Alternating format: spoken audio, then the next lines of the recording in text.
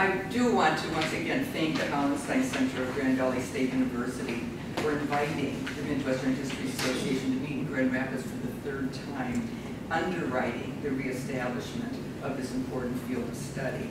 Um, I'm Joelle McClary, and it's my distinct pleasure to be part of this effort and to welcome you um, to a panel featuring the Midwest and the history of World War I. I'll state my own interest directly. I've organized the panel that I've just been talking about at 2 o'clock this afternoon about another aspect of war work, sponsored by the Greater Grand Rapids Women's History Council. Um, the handout that I gave you about our work in this area um, can constitute an invitation to join us, and please take a look at our table out in the foyer.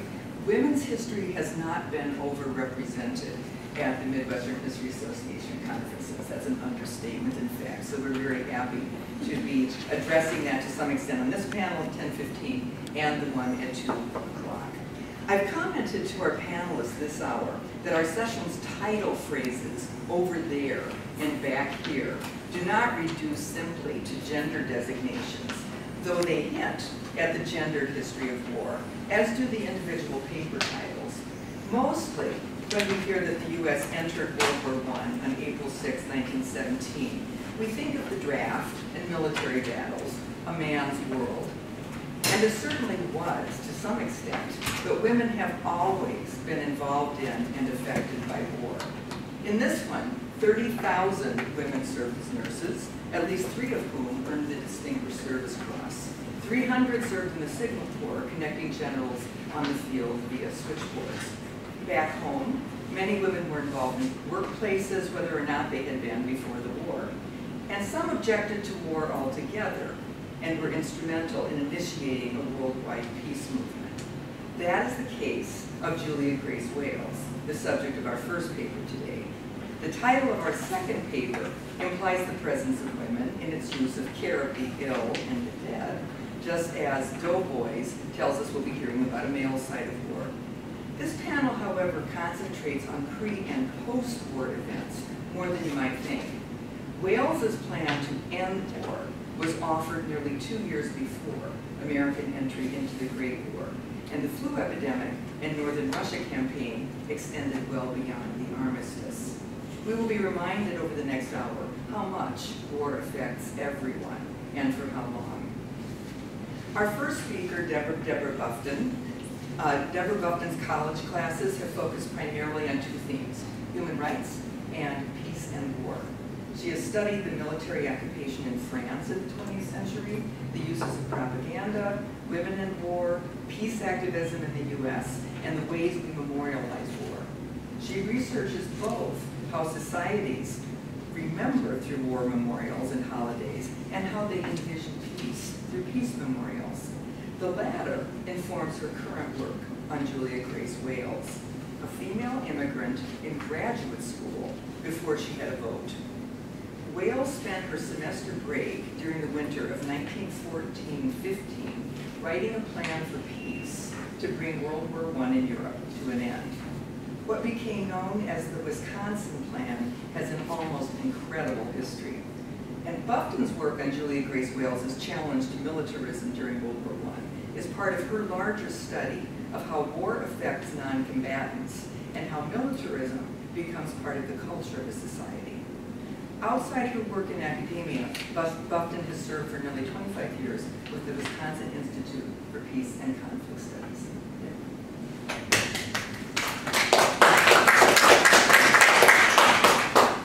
Thank you very much. Um, and I will try to stand here so I have some place to put my papers and access to the, uh, to the slides here as well.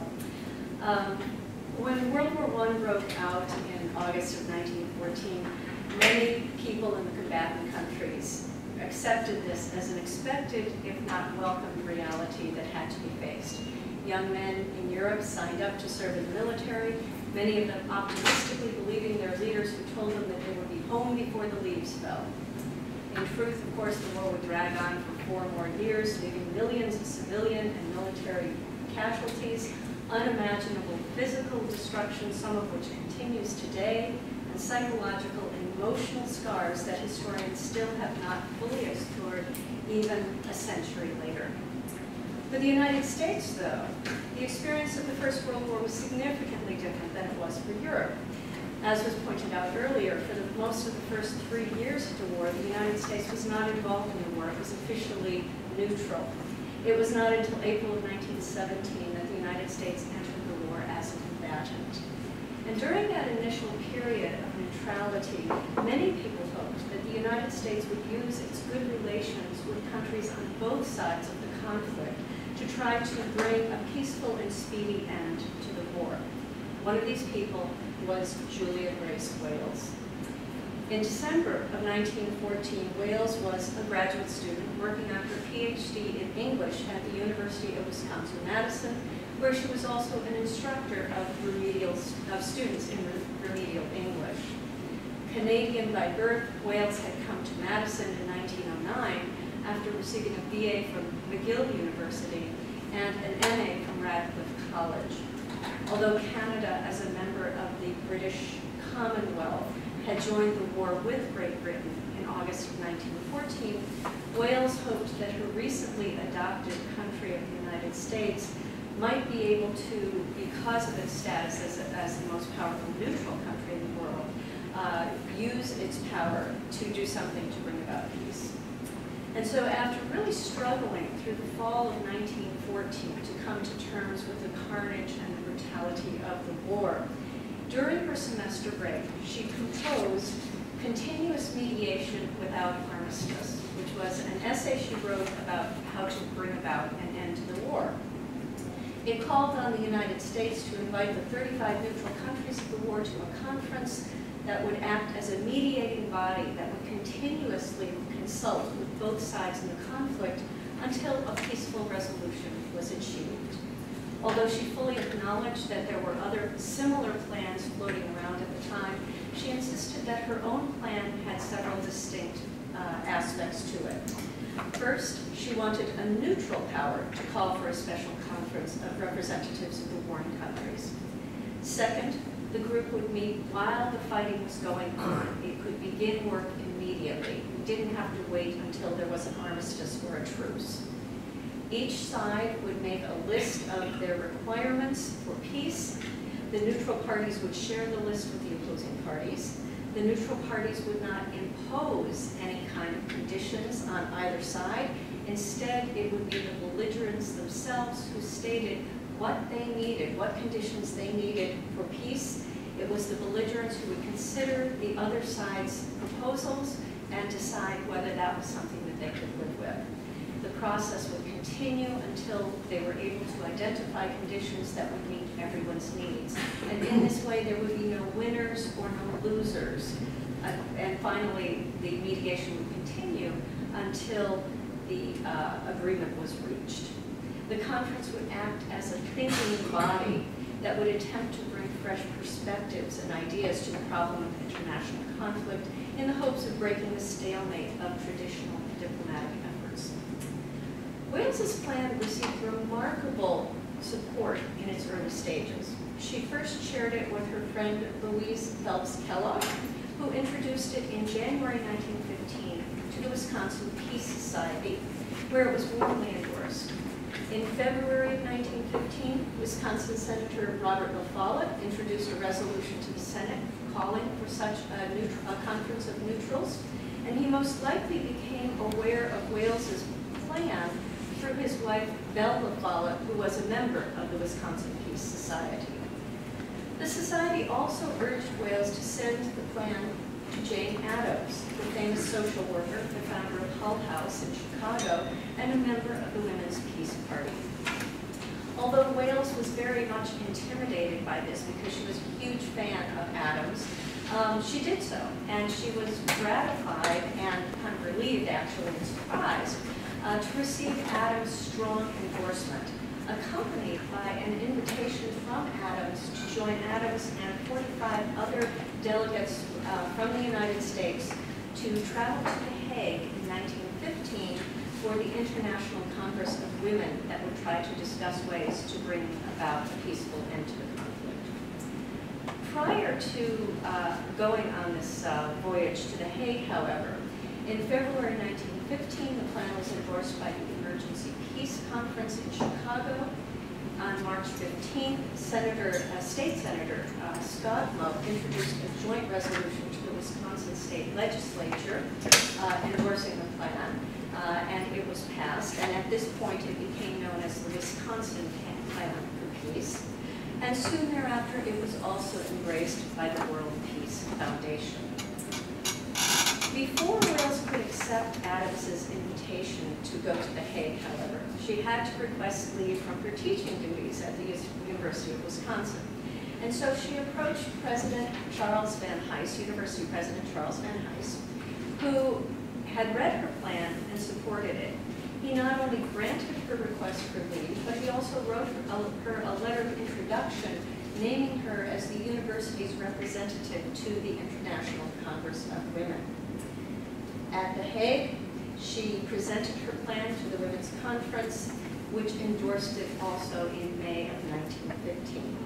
And following this, she and many other delegates from this conference traveled throughout Europe, talking with various political leaders in hopes of convincing them to support the plan. Secretary of State William Jennings Bryan also supported the plan. And in October 1915, the International Peace Congress in San Francisco adopted the plan, appointed David Starr Jordan, who was the president of San, uh, Stanford University at that time, uh, to uh, present the matter to President Woodrow Wilson. Now, back in March, President Wilson had rebuffed an, a request from Jane Addams uh, to, for a meeting to meet with him and talk about the plan.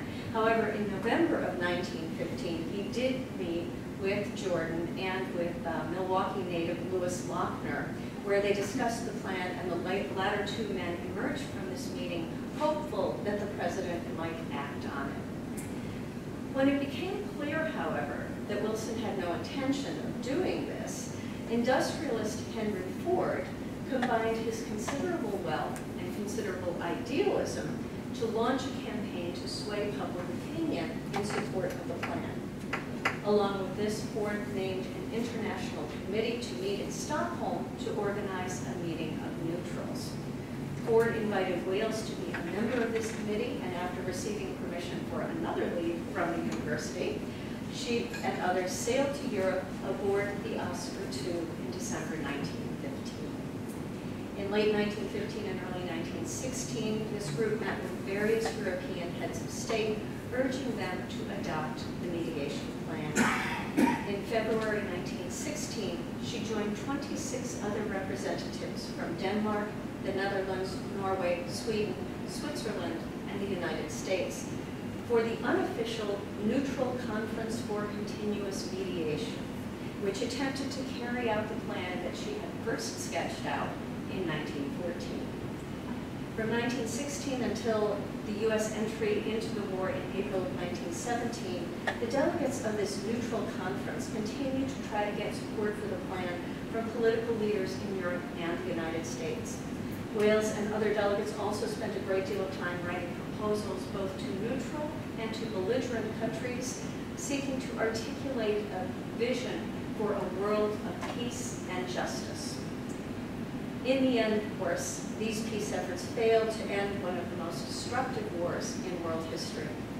Nonetheless, I believe there are ways in which they were constructive and helpful in their own time, and they offer lessons that may be useful to those of us who, like the progressives, seek to create a better, fairer, and more peaceful world today. Although both contemporary and later critics portrayed the efforts of peace ship and the accompanying conference of neutrals as quixotic at best and idiotic or treasonous at worst, in fact, these actions represent a remarkable attempt by ordinary citizens to take an active part in shaping the world, and in this sense they are representative of the idealism and civic-mindedness of the progressive movement. Furthermore, these efforts have had significant, if often overlooked, consequences. For example, in the early spring of 1916, the conference delegates spent six weeks working on an appeal to governments, parliaments, and peoples of belligerent nations. This document called for the right of nations to decide their own fate, freedom of the seas, the end of secret diplomacy, internationally agreed upon disarmament, a world congress, and an international body using principles of law and justice to peacefully settle disputes among nations. These principles outlined here would become, uh, would echo in many ways uh, Woodrow Wilson's famous 14 points that would come later. From 1915 to 1917, Lochner and other members of the delegation communicated these ideas with Wilson frequently, both personally and in writing. And it would be surprising they did not have some influence on his thoughts. In his memoirs, Lochner writes this, Our appeal was the precursor of the long-distance debates of Wilson, Lloyd George, and Bethmann Hollweg during 1917. It foreshadowed the famous 14 points in a manner that does credit to the inexperienced group of international pacifists sitting daily around the green table of the Grand Hotel at Stockholm. To the everlasting credit of the Ford Neutral Conference, be it said that long before the Pope ordered his solemn proposals for peace in 1917, long before the German Kaiser authorized the 1916 Christmas peace note, long before Woodrow Wilson gave his 14 points or even his peace note of December 1916 to the world, long before the international socialist movement had made its pronouncement of peace terms, the humble, unofficial folk of the Stockholm Neutral Committee worked out a program that bears a striking resemblance to all later programs for peace issued from governmental or private sources. The Conference of Neutrals also succeeded in promoting considerable peace activism by ordinary citizens. In early 1916, the conference prepared a resolution for people to sign calling for neutral countries to convene an official conference for mediation. On August 1st, 1916, the second anniversary of the war, the conference members were elated to learn of hundreds of peace demonstrations throughout neutral countries in Europe supporting this resolution. In her account of Julia Grace Wales and her efforts for peace during the war, Mary Bean writes this, in every neutral country in Europe, church congregations, singing societies, trade unions, fraternal societies, and individuals supported the peace effort. In Switzerland, 250,000 people signed the resolution. In Holland, 100,000 peace pamphlets were distributed at rallies. At hundreds of meetings throughout Scandinavia, hundreds of thousands of people endorsed the resolution.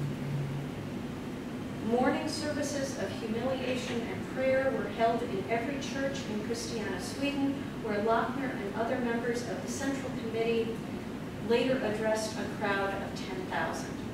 In Denmark, the political parties and churches joined in a nationwide demonstration. There were more than 400 mass meetings in Sweden alone.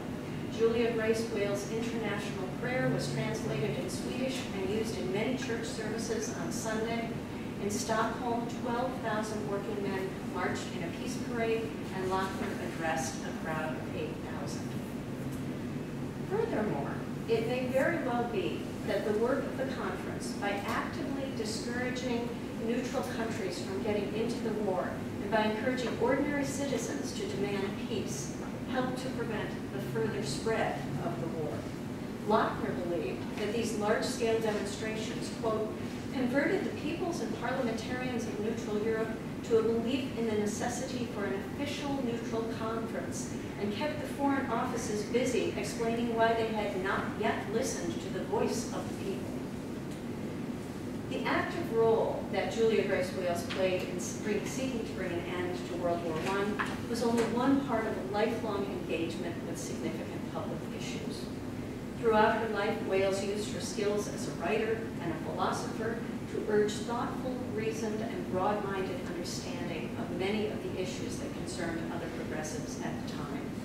For example, prior to World War I, Wales was active in the Women's Christian Temperance Union, and while the WCTU has sometimes been seen as a collection of narrow-minded harpies who seek to deny anyone the right to have a beer, in fact, uh, Under the leadership of uh, Frances Willard, the organization was much broader in its focus and saw the elimination of alcohol abuse as not an end in itself, but as the means to end all manner of social ills, including poverty, slavery, prostitution, human trafficking, domestic violence, child labor, and illiteracy. This, they supported women's suffrage, improved public health, election reform, transparency in government, workers' rights, corporate regulation, and world peace. Issues that clearly are still important to our world today. Wales' participation in this organization reflects her desire to improve the world, her broad view of what needed to be reformed, and her optimism that a better world was possible. And in this way, she also embodied the values of the progressive era. Wales wrote essays exploring and promoting internationalism and reflecting on the meaning of world citizenship, the role and responsibility of conscientious objectors during war, pacifism in wartime, and how one could deal with what we call recalcitrant nations uh, in using means other than military force. In April 1917, when the United States entered the war, she must have been bitterly disappointed, and nonetheless she wrote, we must have faith, the faith that life itself helps to create. Sometime peace will come and the renewing of life.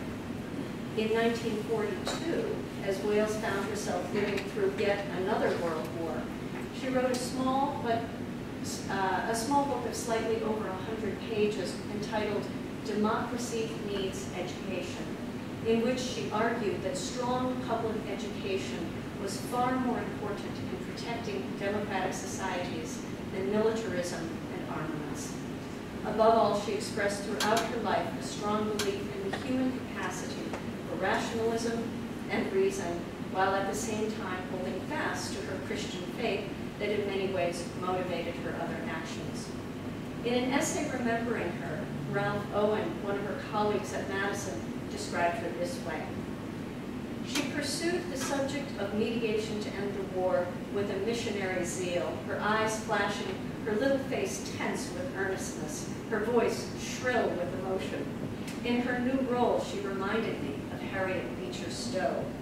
Next, she began writing everyone far and near whom she knew or who she believed might be useful to her in her cause. She begged all of her friends and acquaintances to do likewise. I remember I did. Joan of Arc and her voices were reincarnated in Julia Grace Wales. This statement indicates the passion with which she approached her work. She understood the work for peace to be literally a life or death matter, but at the same time, her writings indicate a thoughtfulness and a willingness to see the world in subtle ways and not dualistically.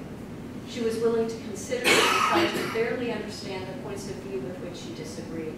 She frequently used phrases such as, is it not possible, or would it not be helpful? In a column of 10 rules for success written in 19, the 1930s, she wrote, give the benefit of the doubt as to motives, avoid suspicion, expect good. A doubtful or hostile, resentful spirit on your part will create the same in another. You are not responsible for not making mistakes. You are responsible for doing the best you can. It is unfortunate, though not surprising, that she is almost completely forgotten today. In both her ideas and her actions, she offers a wonderful model for us as we deal with the crises of our current age. Her ability to envision and suggest a peaceful way to end conflict is valuable in a world that assumes militarism is useful, necessary, and inevitable. Her modesty and unfailing courtesy in listening to, listening to other viewpoints is a helpful counterweight to the present age of in-your-face politics. Her tireless work to make the world better is encouraging at a time when despair seems much more sensible. Her optimism and faith in human reason and the power of a good idea is an essential corrective in an era when it is all too easy to succumb to cynicism and the quick fix. In all these ways, Julia Grace Wales was a model for her time and for ours. Thank you.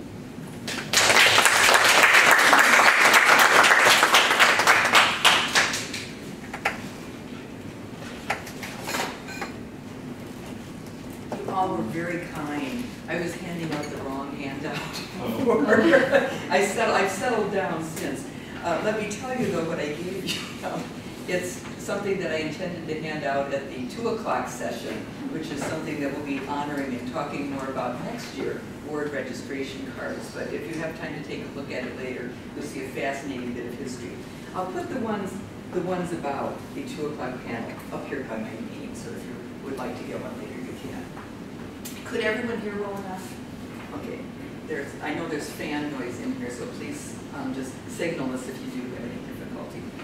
Um, An independent scholar from Elgin, Illinois, Gari-Anne Patzwald, is also a freelance writer, editor, and archivist.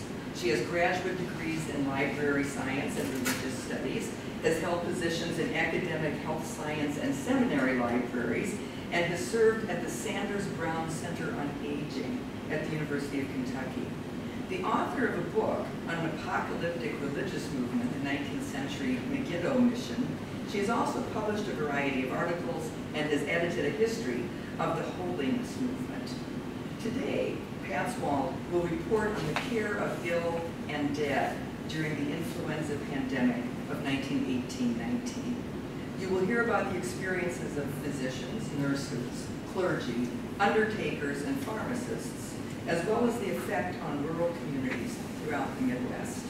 Here is Patzwald to tell us about the living, those who, who or those who were about broken down with ceaseless work.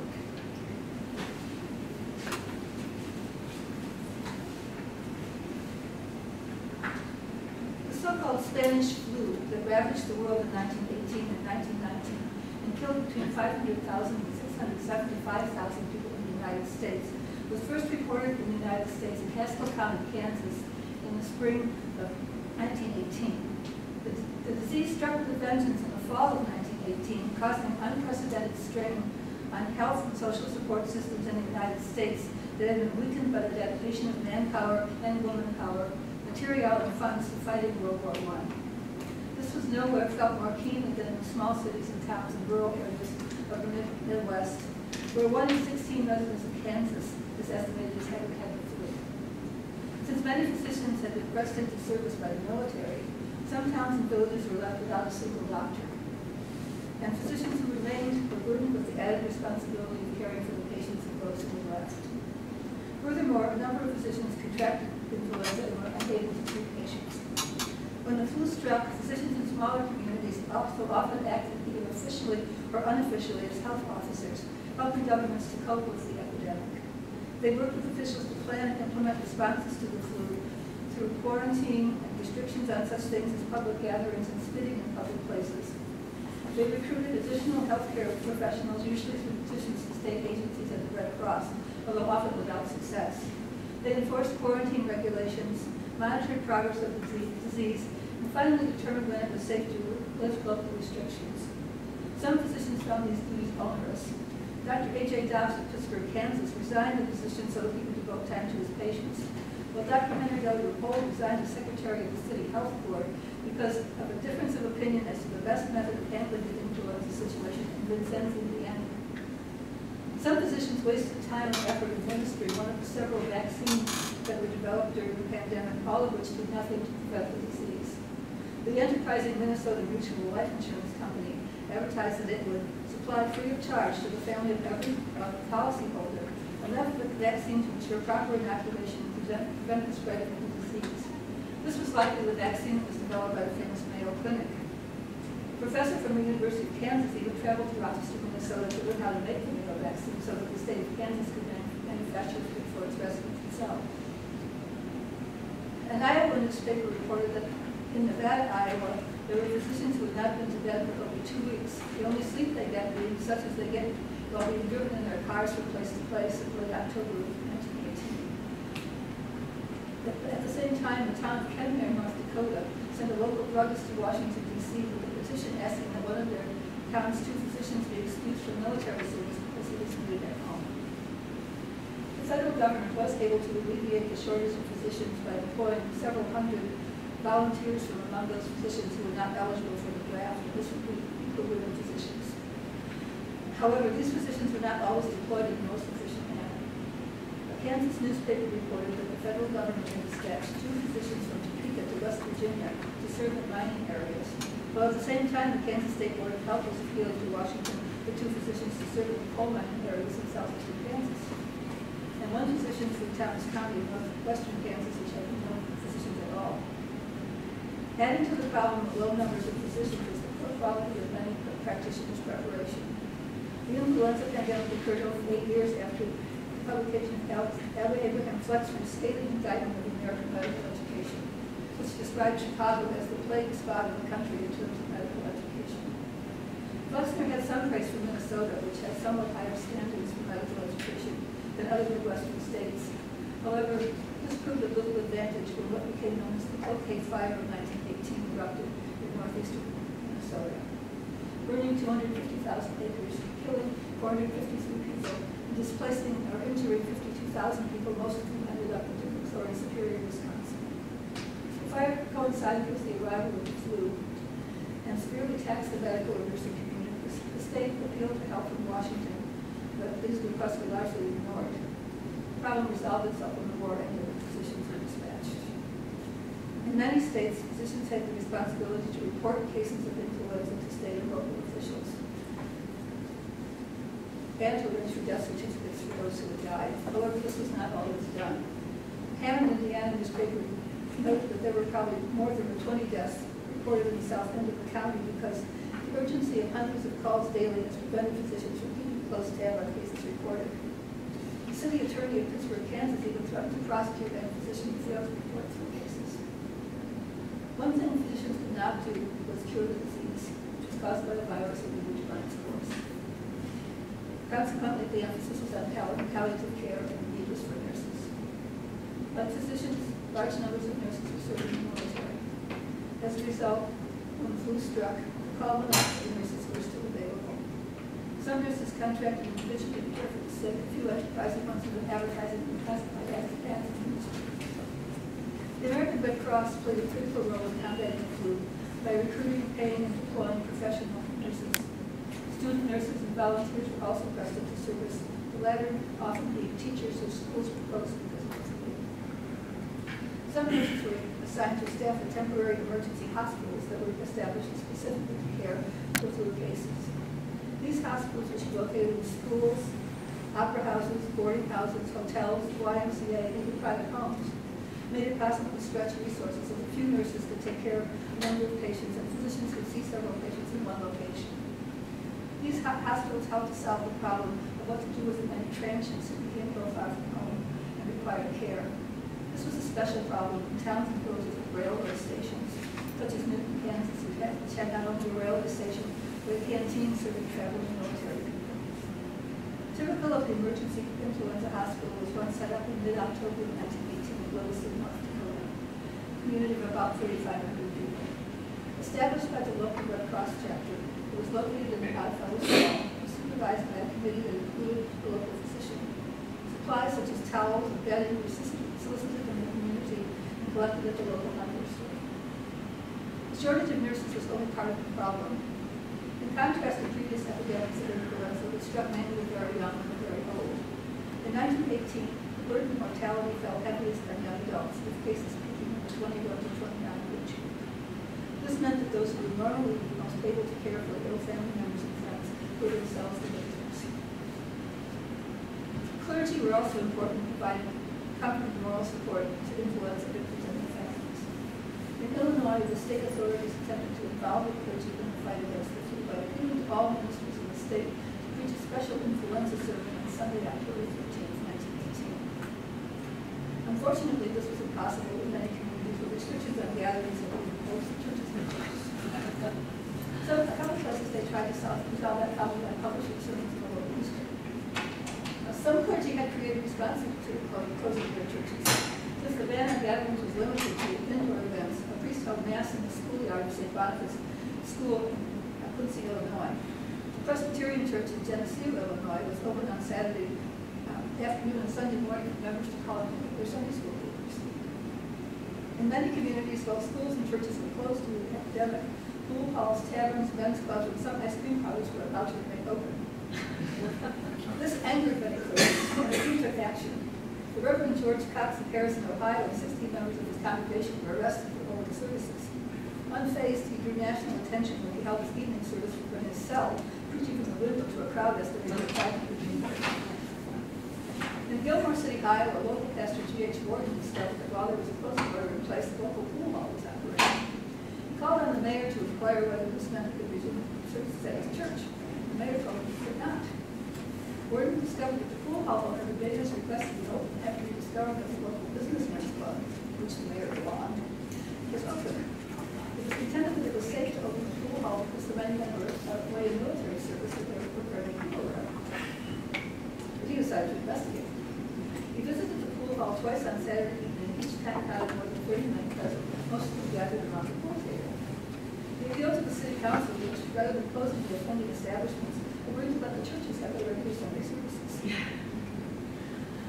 When churches in Coon, were closed in Coon Rapids, Iowa, the local newspaper noted that Coon Rapids preachers are disconsolate living lots, as quarantine was declared. They can neither preach nor make pastoral calls. It's the first loafing spell they've had since they were kids, and they don't know what to do with themselves. Ministers may not have been disconsolate because they had nothing to do, but rather because they were not being paid. The later edition of the same Coon Rapids newspaper noted that the town had saved a lot of money through an ability to attend church and movie shows. The editor wondered if one of the churches reopened, the congregants would contribute two-month savings in the first church service. The pastor of the United Brethren Church in Pittsburg, Kansas noted that even though the church was did not services, its work continued. The pastor announced that the church would be open for two hours on Sunday, not to hold services, but to receive offering. Ministers were hardly idle during the 11 the effortlessly conducted theological covenant died unmoved. In January of 1919, the pastor of the Presbyterian Church in South Omaha, Nebraska, reported he had conducted 51 funerals in the last three months of 1919. The sheer number of deaths from influenza also overwhelmed all undertakers. In 1918, the funeral industry was still in the process of transitioning from a sideline to a full-time profession that had started following the Obama during the Civil War. In rural areas and small towns, there were professional undertakers and many still their livelihoods from other businesses. They were usually in the furniture business, but there were exceptions, such as the Mulberry Hardware Undertaking Company in Mulberry, Kansas. In many communities, bans on gatherings made it necessary to hold small funeral services in homes that were permitted outside the cemeteries. Sometimes undertakers' work was complicated by unusual demands, such as when several undertakers were called from their communities of Illinois to Camp Grant to relieve local undertakers who had more work than they could handle. Or when Mrs. Sarah A. Potter died of in Plano, Iowa. According to the Centerville, Iowa newspaper, the semi-weekly Iowa Mrs. Potter was an exceptionally large woman, weighing between 400 and 500 pounds, being in all probability the largest woman in the county by considerably. It was necessary for the Langford Undertaking Establishment to send a special order to the casket factory, which will make it necessary to wait until Sunday afternoon for the funeral. Because of her size, the casket will not be taken into the house, but the body will be placed in it at the door. Fortunately, the newspaper came out one day after the funeral, otherwise one can imagine a significant number of curiosity seekers risking exposure to the food by gathering in front of the powder on Sunday. Undertakers handled many bodies of people who died in places other than where they were to be buried.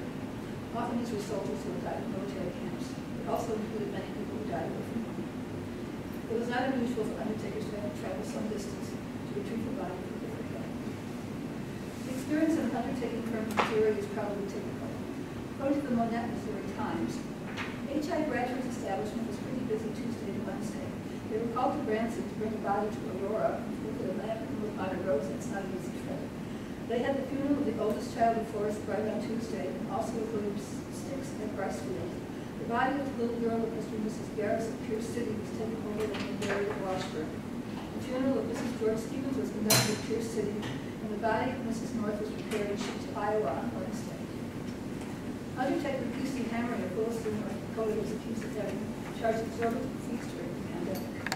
As a result, the local council of defense held hearings and examined his financial records. They determined that Hammer, being the only undertaker in a large territory, was forced to work almost day and night, make long trips in severe weather, and often expose himself to contagious And this made him worthy of the compensation he asked. The influenza pandemic did enrich many undertakers, but government regulations often limited the amount of money that they could make. The government had an allowance of one hundred dollars to cover the funerals for uh, military men who died, and most undertakers operated under that limit. Furthermore, due to the shortage of coffins, the federal government's War Industries Board banned the production of fancy trimmed varieties of coffins, making it um, necessary for undertakers to charge less for caskets and provide very simple boxes. In addition, many communities either officially or informally encourage the immediate burial of influenza victims, and little people undertakers would charge for extra services such as embalming and transportation in their fancy auto ambulances. Pharmacists saw opportunities for profit in the influenza epidemic, as they had a wide range of popular remedies that could advertise for prevent flu and symptoms. Druggists were quick to place advertisements local newspapers for various medicines, and this was much uh, more common in the Midwest than it was elsewhere, especially in urban areas. Um, among these were remedies were Tonsiline, the national sore throat remedy, look for the giraffe on the box. Dr. Jones' linen, a gentleman known as beaver oil. And favorite among those of us who were Harry Potter fans, Hamlin's Wizard Oil, which said had been invented by two magicians and originally sold by traveling medicine show. Uh, several treatments developed by Dr. Harvey Pierce of Buffalo, New York, Pleasant Pellets, and Dr. Pierce's golden medical discovery. The most widely advertised nationwide and probably most popular treatment was a product that's still sold today, Stable Rub. The federal government warned that there were no vaccines or medications that could- proven to be effective in either preventing or treating influenza. And the several those on the market are actually dangerous. However, the warning certainly did not stop the advertisement and probably not the sales of these products. In studying the influenza pandemic in the Midwest, one cannot help but note the preponderance of influenza in mining communities. Mines, particularly coal mines and mines producing metal for weapons, are considered critical to the prosecution of the war. And every effort was made to keep them open. In Kansas, a military officer was even sent to Crawford County to supervise the, the uh, food response in that area, which is a covered mining or coal mining area. The high rate of mortality described in flu miners was demonstrated statistically a study of Ohio miners published in the American Journal Public Health in 1920. Adjusting for the greater number of deaths in mines due to accidents, the study found that the percentage of deaths due to influenza pneumonia was 22.8% higher in miners than in the general population of Ohio and in the same age group. The study does not suggest reasons for excess mortality, but the close quarters into which miners were packed in elevators and the mines themselves, coupled with the greater incidence of respiratory disease in general among miners, would lead one to conclude that influenza of acid in in 1918. When considering the impact of the flu on the Midwest, one also cannot ignore the rural nature of the region and ask whether rurality itself had an impact on the way the flu was experienced. The Kansas Board of Health reported in December 1918 that the mortality rate was much more severe in rural districts than in cities. But this may be due to the large number of cases in the mining camps in Cherokee and Crawford counties. There are many references to people reporting whole fa- farm families ill with influenza, but very few indications that they were requesting or receiving professional medical care, thereby probably leaving many cases unreported. Perhaps in contrast to with his frequent trips to town to some doctor on the house on the prairie, rural people in general were accustomed to managing illness themselves and did not seek professional help. For example, a farmer in Berthold, North Dakota, visited Minot in December of 1918, reported that 10 members of his family had ill from influenza and was through the nursing. For 17 days, he didn't take off his clothing. In rural areas, some of might been problematic areas with limited phone service. Many rural homes still do not have telephones. Furthermore, um, small towns, tend to be served by local telephone companies with limited capacity. In Sheboygan, Illinois, a village of about 600 people, it was necessary to shut down the phone company for several nights in October of 1918 due to the operators having Perhaps a study that was done of influenza in New Zealand provide some clues to the actual experience in rural America. The study found that mortality rate for towns and cities was more than twice that for rural counties. Authors suggest that the mix of remoteness and greater social distancing among rural residents were deciding factors. As the influenza pandemic wound down, many state and local governments looked for ways to improve the healthcare system and make it more efficient should another epidemic occur. And important changes were made in some places. However, with the end of the war, focus of the United States turned to, to a return to normalcy, and the future that include automobiles on improved roads, electrification, and all the things that the mid-1920s brought. The memory of the influenza pandemic faded. With no more serious outbreaks of influenza, the focus of the healthcare system turned elsewhere. The development of effective vaccines, most of us and it's time for our yearly flu shot. The focus of disease prevention is turned to the exotic viruses such as Ebola and Zika. Dr. Ali Khan, a former head of the Office of Public Health Preparedness and Response at the United States Centers for Disease Control, warns that the next deadly pandemic is more likely to appear as a simultaneous outbreaks in multiple countries, and will spread rapidly by transportation networks, it be or a or an insect halfway around the world in less than a day. What's most likely to be the next pandemic?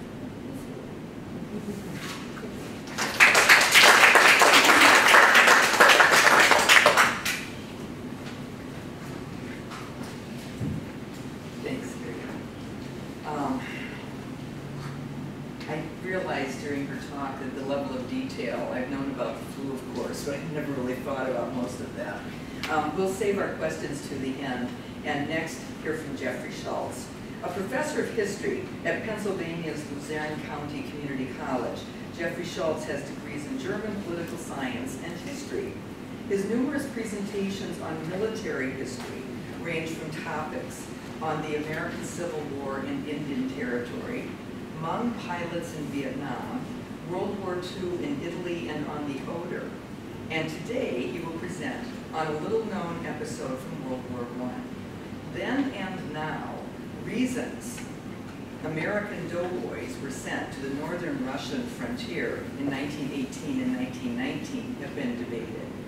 Not debatable were the perils and privations these 5,000 soldiers suffered as Americans sent by President Wilson to intervene in the Russian Civil War.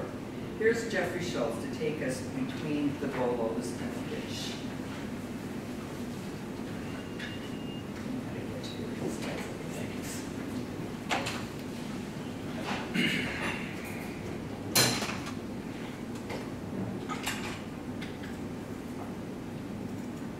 Just a moment.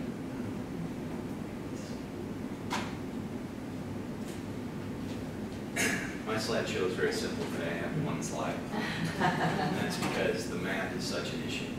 So, good morning. In the closing months of World War I, American troops of the ANREF, or American North Russia Expeditionary Force, fought a bitter, undeclared war in appalling conditions against Bolshevik forces as part of a multinational Allied intervention in North Russia. Led by Great Britain, mixed Allied forces fought a quote, ill-conceived and ill-managed, end quote, effort from 1918 to 1919 before withdrawing ignominiously. Thereafter, the Bolsheviks overwhelmed the white Russian forces and the Soviet Union soon followed. Few Americans know of this intervention, yet the Soviet people will never forget the West's willingness to intervene in Russian affairs.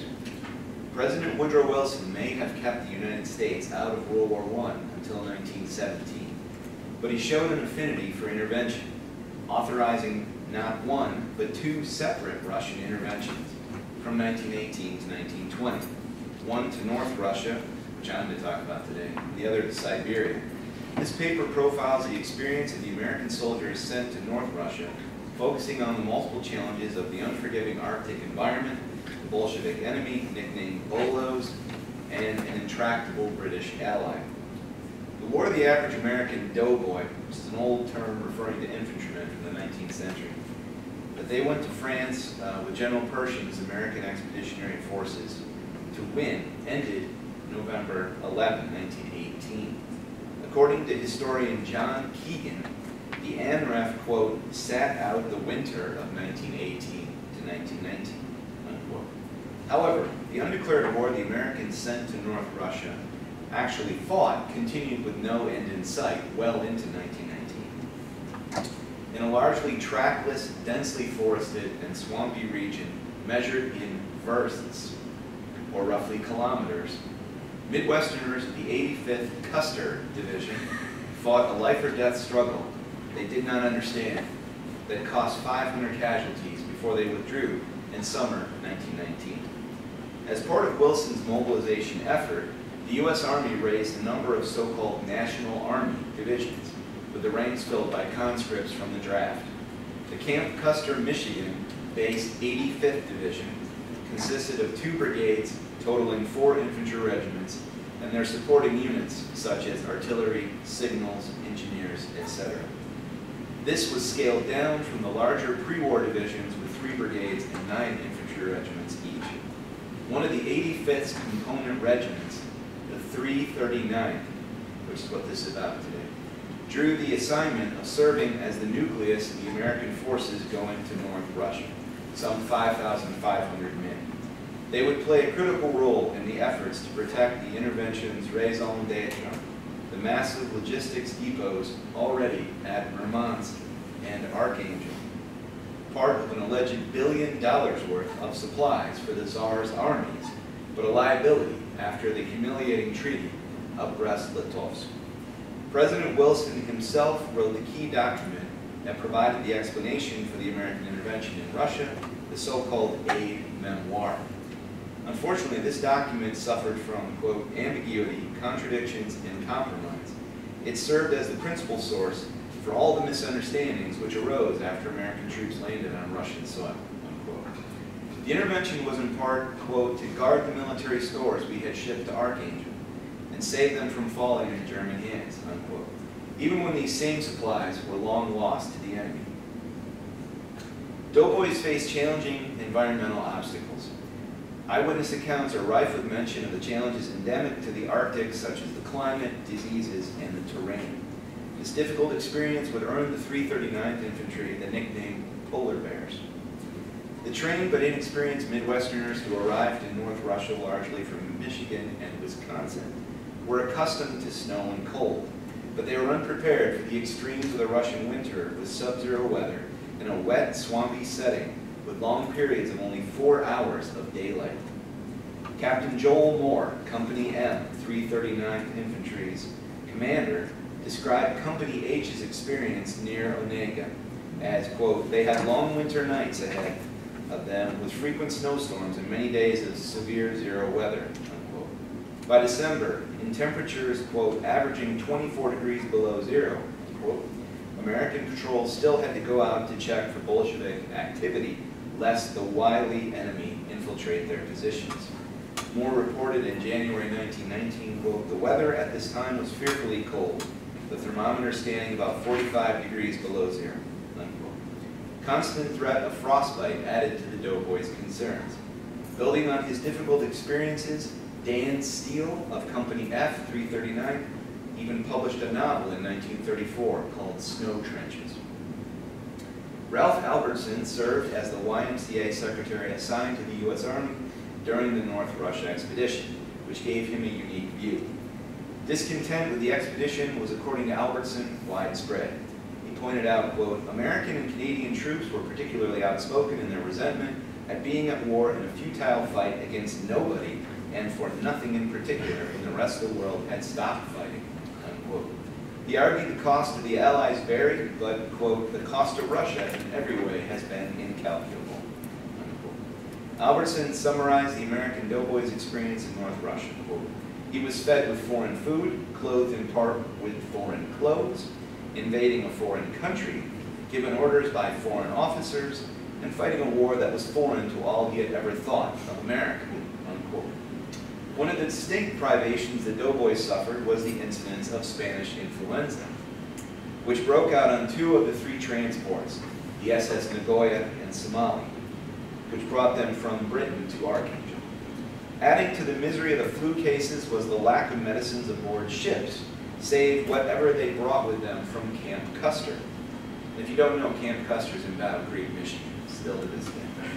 Once they arrived in Archangel, a city of, quote, magnificent multi-story log churches, unquote, Private Godfrey Anderson of the 337th Field Hospital treated flu cases, but owing to the poor facilities, the ill, quote, lay on stretchers without mattresses or pillows, lying in their OD uniforms with only a single blanket for cover.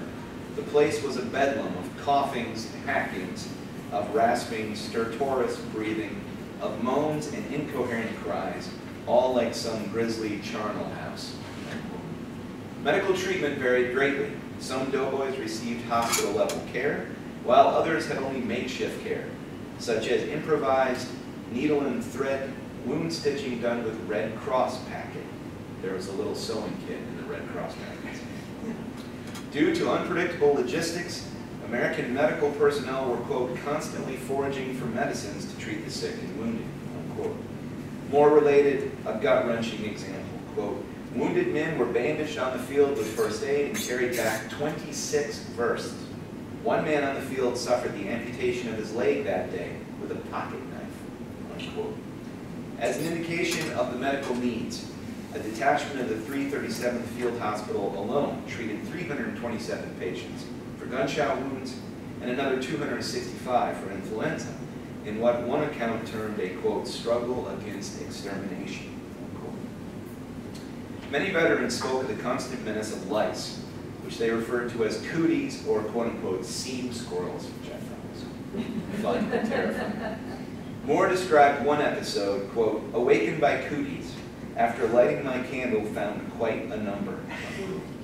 PFC Donald Carey of E Company 339 described his pitiful condition after 24 days at the front, quote, I was literally crawling with body lice. The filth and cooties produ- produced such irritation that at times it seemed I would become insane. Moore further noted the distinct smells and sights of North Russia via brief rhyme. Quote, it's the home of the cootie and bedbug. My strongest impression of Russia gets into my head through my nose. Oh. Wow. Finally, Anderson went so far as to write a treatise on the cootie for it's a real, real poem for the American Sentinel, the local newspaper of the ANREF. Cockroaches proved another nuisance, depending on where the men lived or slept. Moore told of a river transport where, quote, the cockroaches ran around in such large numbers that when we ate, it was necessary to keep a very close watch, or one would get into the food. Some of the men who served in the 339th were from Wisconsin, which contributed some 500 men to the ranks of the unit known as Detroit's Own.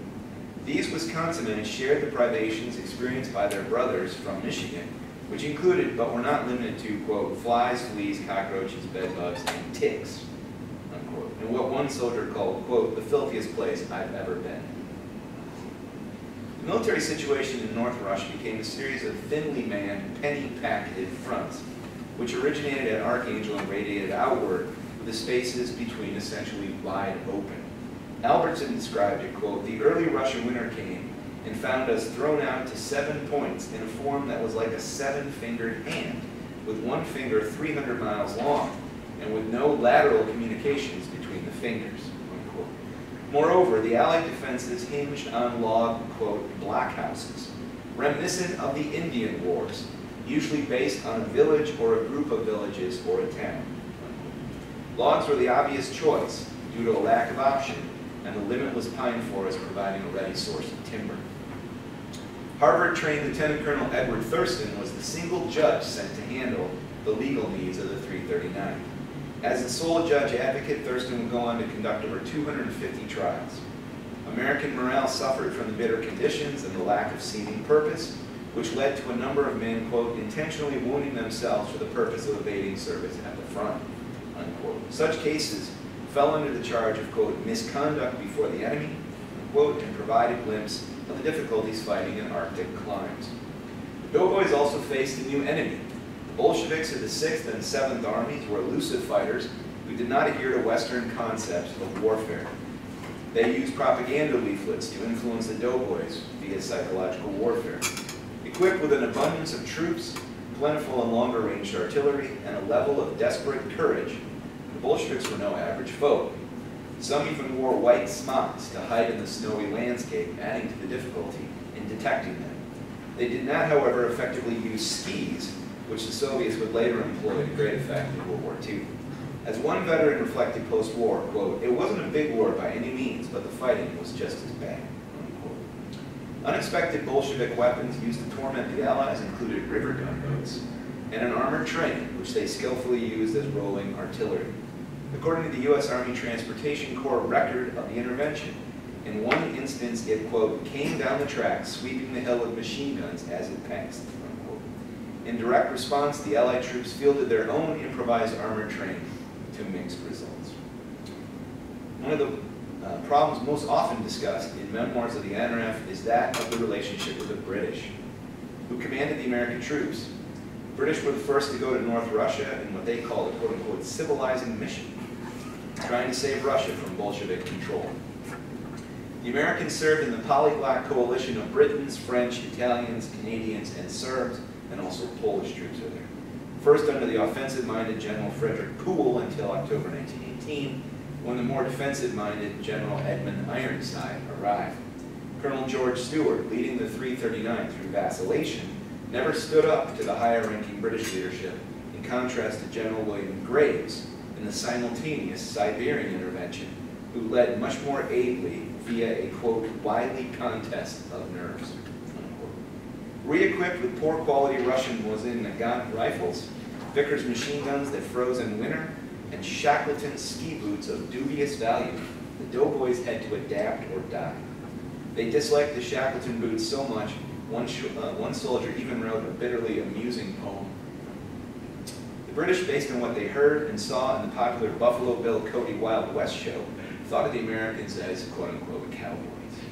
This unflattering stereotype, fueled by popular films and stories, did nothing to reconcile the notion that American troops were generally inexperienced and reckless, like some British troops had been back in 1914. General Poole insisted on British officers, quote, command all aspects, unquote, of the intervention. General Ironside, who viewed Bolshevism as, quote, anarchy and wholesale murder, unquote, lamented the doughboys' training and physical activity. Eventually, British Prime Minister Lloyd George would say of the cooperative effort, quote, the future peace of the world depends upon the American and British peoples understanding one another. And the best hope of such an understanding grows out of the intermingling of the soldiers of the two armies, unquote. While some complained of how the British treated the Americans, others complained of their food. Carey related, quote, their rations lacked quality and quantity. The tea was vile, but good, compared to the tasteless dried vegetables resembling grass.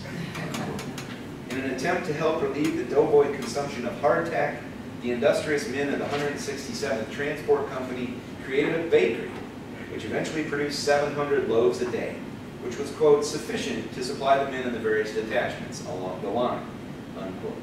Sergeant T.F. Moran, Headquarters Company, 339, wrote, quote, we are fighting for British interests and spilling good American blood and wasting good American lives for a cause that our government surely does not understand. Albertson said of the British, quote, they set their own petty officers upon the Americans in a manner that was most irritating to American national self-esteem and bitterly resented. Lieutenant John Cudahy, Company B, 339, found the British to possess, quote, a lack of understanding, the brutal arrogance. As an indication of the growing difficulties, General Pershing told Acting Army Chief of Staff General Bliss, quote, our troops are very much dissatisfied, and the friction existing between them and the British is not encouraging. Defying order against complaining about the British allies, Corporal John Servinsky of Company E, 339, penned a letter home decrying the British treatment. He stated, quote, Never in my life was I ashamed of being an American till now, and I have to be, because I know the British are putting something over on us, unquote. His letter understandably electrified the Detroit area home front, and, quote, met with most or almost unanimous approval, unquote, among the doughboys. An American petition circulated in February 1919 listed many complaints of the intervention forces. Among them, quote, England has undoubtedly many capable officers, but they are not in Russia. The manner in which this expedition has been manhandled is a disgrace to the civilized world, unquote. One assessment stated, quote, the expedition was not particularly well managed, and troops were subjected to needless hardships. More than 400 casualties were suffered by this small American force, unquote. A further insight comes from British General Ironside's incisive post-war remarks, quote, the winter campaign in North Russia may well be termed unique in the history of the war. Never before had troops been called upon to fight under such severe climactic conditions. The American doughboys who served in northern Russia from 1918 to 19 outlasted their brothers in arms who fought in France, deployed to the Russian Arctic seven months longer than the November 1918 armistice. Historian John Keegan described the NRF dismissively as having, quote, sat out the winter of 1918 to 1919, but the evidence fully disagrees. Contrary to Keegan's claim of relative inactivity, 23 of the Americans sent to North Russia earned the Distinguished Service Cross, the second highest decoration for heroism, among awards from Great Britain and others. Lacking a clear mission, the polar bears of the 339 served in perplexing conditions against a foe who was simultaneously engaged in a vicious civil war against the rival white forces. While the fate of the Bolsheviks may have been in doubt in other parts of the country, in northern Russia, the truculent Bolsheviks gradually forced the Allied intervention to end, especially when it was clear the friendly white forces were unable to hold the line. A U.S. Army source described the North Russian forces as having, quote, suffered heavy casualties while guarding Allied war supplies meant for the Tsar's forces, unquote. And leading to the Allied intervention being, quote, deeply resented, unquote, by the leaders of the future Soviet Union. Years later, in 1959, Soviet Premier Nikita Khrushchev reminded President Dwight Eisenhower the time Americans were in Russia, having never forgot the insult. We remember the grim days when American soldiers went to our soil, headed by their generals to help our white guard combat the new revolution. All the capitalist countries in Europe and America marched upon our country. Never have any of our soldiers been on American soil, but your soldiers were on Russian soil. Thank you.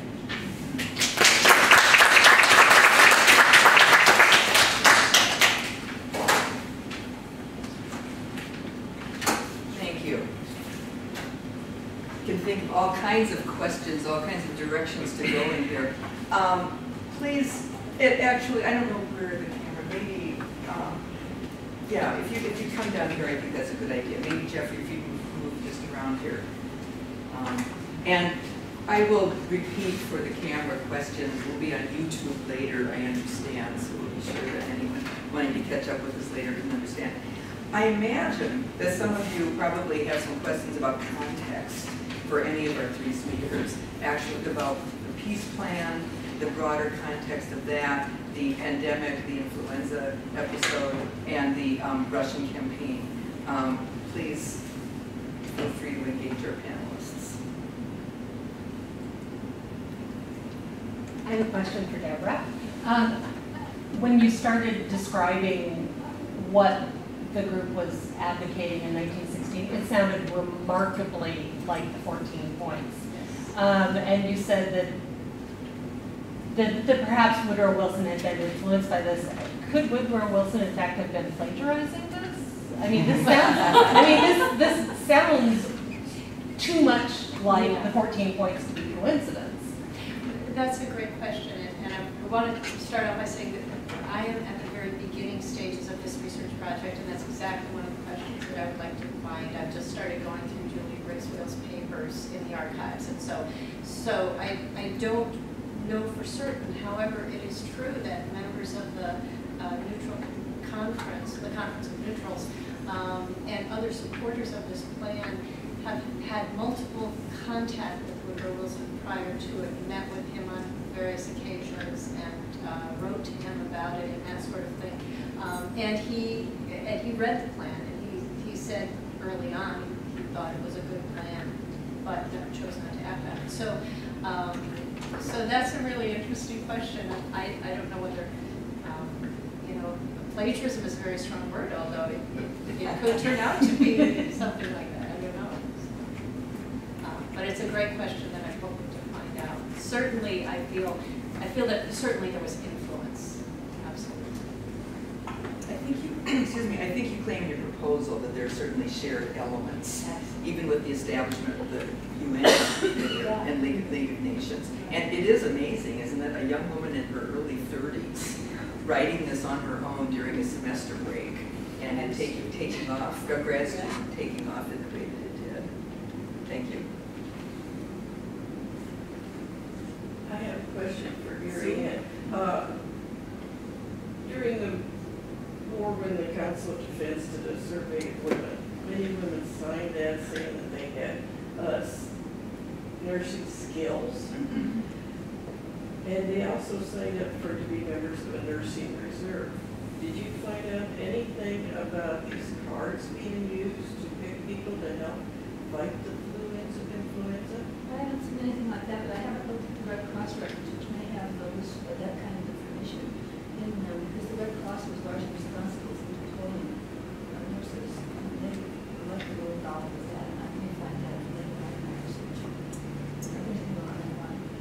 I'm glad I handed that out. the photo essay earlier. We won't really be talking about it more at this conference. But Sue Caldwell will be one of our speakers at 2 this afternoon. And she's referring to um, war registration cards. Um, Grand Rapids has a gigantic collection of 23,000. Jasper County, Indiana, where Sue is from, has 3,000 some. And there were some separate nursing card registrations. Um, In Grand Rapids, the registration was the first week of May in 2018, so the war was over within six months. And tragically, most of these cards over the nation just disappeared. However, we have some evidence that during the pandemic, people who had said they had nursing skills or were willing to function as nurses um, did do some of that. So we would, any anything you come up with, we'd Well, love the to know military, about. the military was constantly requesting more and more nurses, and they would ask hospitals for nurses, and nurses would, and hospitals would send like eight nurses, even though they needed them to, to, to, to help with the patient. They would send nurses because the war effort was everything. But occasionally there were, uh, government agencies that would say, no, we can't send nurses. And nurses, of course, were individuals, who were not subject to the military draft, actually, and they could decide where they wanted to nurse themselves. Yes. Just a couple things to clarify, a little bit of trouble hearing on the flu epidemic. You said five hundred to six hundred seventy-five thousand, that was nationwide? Yes. That died, and one in sixteen in Kansas? Uh, one in sixteen in Kansas contracted the flu, but did not die. Contract, Yeah. okay, all right. And it was the vaccine for Mayo that actually stopped the epidemic? No, the vaccine for Mayo was ineffective like all other vaccines. Ah. But it got a lot of press, and if you look at newspapers in the Midwest, especially like Indiana, one of the representatives from the Mayo Clinic goes to Hammond, Indiana, to promote the- this uh, vaccine. But the problem was with viruses, they, they had actually identified viruses in fluids around nineteen oh four, but they actually couldn't see them until nineteen thirty-one, when the electron microscope was Oh, invented. So they didn't really know what they were dealing with, and initially, they thought the flu was something other than flu, because the symptoms of this flu were so much different from other uh, flu epidemics that had been in. And the length of the flu, I mean, it'd be two weeks? It, people died within hours of having contracted the flu. Really? Some people, and other people survived, so it, it's, it was, it varied.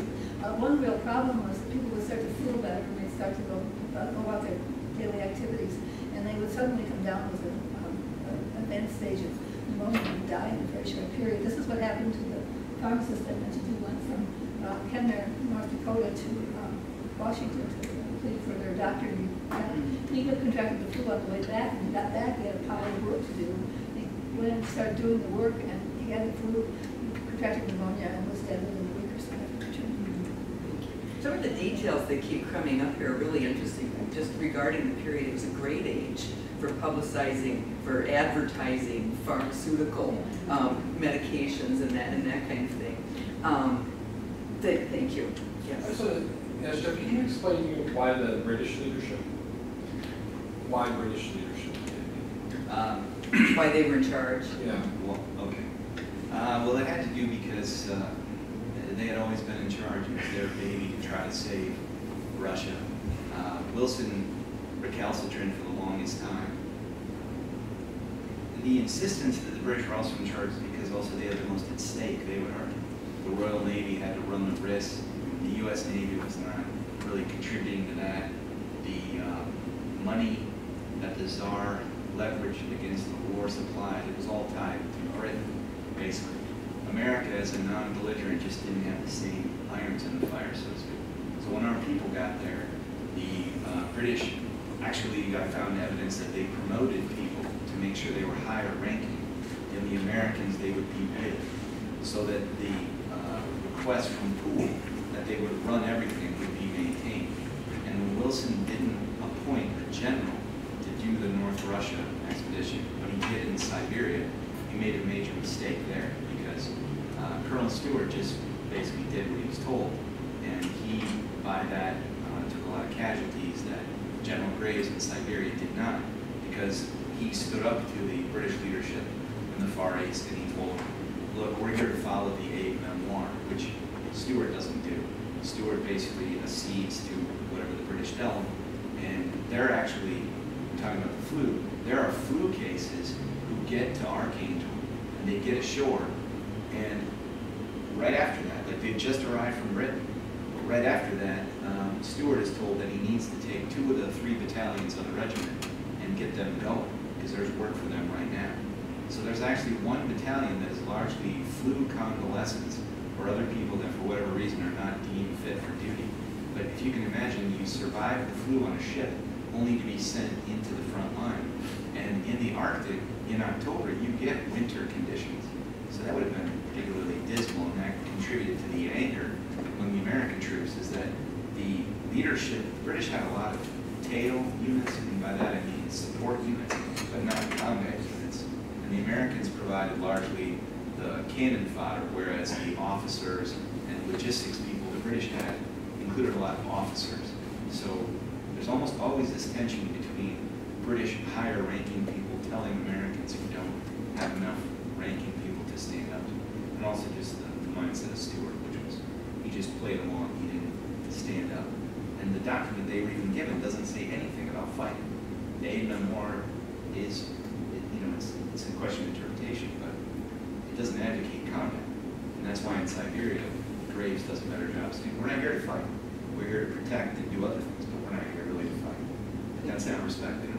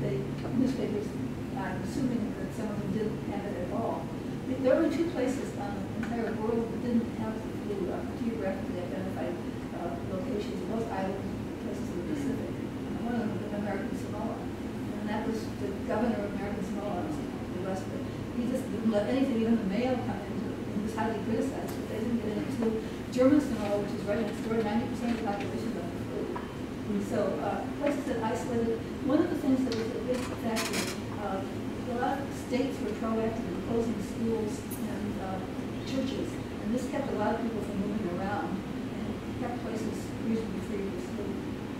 Except when the fellows went to the pool hall. Yeah. Yes, yeah. You actually might find some interesting stuff looking at the records of colleges and universities. I looked at a couple of colleges and universities. One was the one at Mount Morris College in Illinois. Uh, they uh, tried to keep the flu out by closing the campus, but they sent somebody in town to get the mail and pick up groceries every Yeah. day, and that's um, totally. Uh, Iowa State College, now Iowa State University, um, quarantined the campus. Yeah. The problem was that they were also a military training Yeah. location, Yeah. and so there are a whole bunch of sick soldiers. Um, But they, they shut down the campus, and um, some of the women ended up on house arrest because they had snuck off campus to go in, to go into town. Um, So there's a lot of really cool uh, campus-type records of the problems of trying to keep young people confined to single places. I think Iowa State College was Carrie Chapman Catt's Yes. alma mater. Um, and Catt was famously involved during a famous suffragist, but also in the world peace movement. But Could you comment about that just a little bit? How much publicity was that getting? Or what would have inspired Julia Grace Wales in that direction? Yeah, that's, that's a good question. Um, I, I think, I think partly um, um, being involved in the women's Christian temperance movement, which, which was much broader than just Mhm. alcohol use, as I suggested, um, kind of opened her to, to other things. And then being in Madison, being in that location, I mean, think about uh, Jane Addams Hull House, just out in Chicago, you have uh, Robert La Follette, um, Louis Lochner, who was in Milwaukee, you know, you, you have a lot of Midwestern um, people involved in that. Um, But um, the, um, uh, the, the International Congress at that day in 1915, you mentioned publicity, uh, you asked about publicity and stuff like that. What's interesting about that is that the publicity for that, similar to the publicity for patient, was, uh, Henry very, very mixed. Um, uh, You had some people saying this is a great thing, but you also had a great deal of ridicule. Um, And uh, Wales herself in her letters that she's writing to family members and friends back home while she's at the conference and afterwards, uh, complains about how the press um, portrayed disagreements among the women in arguments and played them up much more than, than how important they actually were.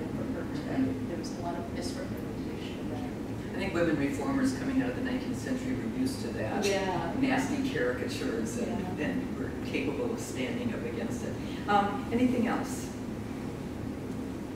Uh, just to mention, Fort Custer will be having, I think, a state of Michigan historical marker final dedicated, uh, maybe for the First World War in July. I think the date is July seventeenth, for those of you interested in state marker dedications. Is that the home of the polar bears? No, the polar bear statue is in Troy. Oh, okay. Uh, the White Chapel Cemetery. White Chapel Cemetery, every year Memorial Day weekend, uh, has a tribute to the polar bears, many of whom are buried there. They, there was a major event in Detroit when they returned, I know that you didn't have a chance to get No, to that. there was a big picnic. It's- It's a mark of how much I've become a Michigander in the last twenty-five years, that I can tell you Troy is a Detroit suburb, if you didn't know that. But Yeah, yes, no, it. One last thing, thanks. If, if you're interested in the flu epidemic, the American Experience on public broadcasting had a very excellent program, an hour program on the flu epidemic. And they were interviewing survivors, most of them were children who were alive at the time, or who suffered the flu and survived. And the one that really stood out to me was the kid whose dad was a druggist. And he was in the back room mixing up some colored liquid, and the kid said to him, well, Dad, is it gonna work? And he said, no, they'll feel better because it's. If you missed, if you missed Gari-Anne's point along the way of her paper, she noted that because there was no cure for the flu, palliative care was especially important, therefore nurses rather than physicians, and that's always the case when we have, have a situation like that. But, um, Thank you very much for coming. I'm sure if you have another quick question, our uh, speakers would be happy to engage. you. Thanks for coming, and maybe see you at two. Here are these handouts if you'd like.